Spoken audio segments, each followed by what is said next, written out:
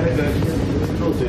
滴滴答答空调大漏水，镜头往下照，整个车厢地板是一大片。最美区间 EMU 九百，不止空调故障，制造源头还是中国。香港地铁也传漏水状况，车厢一大条走廊都是湿的。制造商跟台湾一样是韩国现代越铁公司，但天花板整个大漏水，让人更好奇，这打着韩国制造，但内装产地源头究竟都打哪来？发现香港那边也有类似的状况，这样他们也是就是车缝就车厢顶有是有漏水的状况，然后工会这边也有找到同业有提供照片，看看台湾新进的 EMU 九百清单列列，其中空调系统就是中置。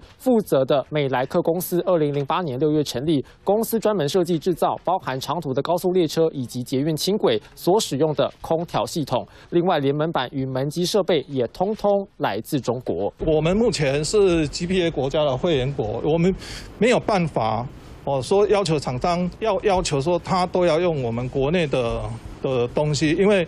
据平等的原则，台铁解释，购车本来就有禁止中国投标，但跟韩国签约有注明，主要设备虽然限 GPA 会员国提供，但附属的设备没有限制会员国，才导致会有出现中置零件情况。现在还在保护期内啊，所以我们会责成韩商彻底防止这个事情啊发生。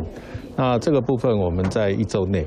好，我们会看函上的报告，要求原厂针对所有交付车辆全面检查，避免类似事件再发生，重创台铁形象。三立新闻周冠周春奇台北报道。